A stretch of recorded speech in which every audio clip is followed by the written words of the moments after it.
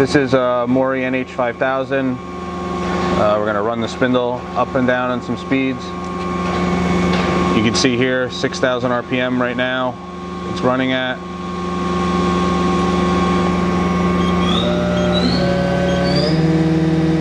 That's 9,500 RPM.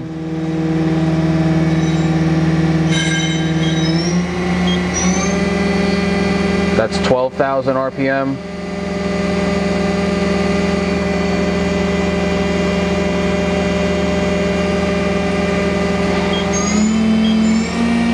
That's 14,000. That's max RPM.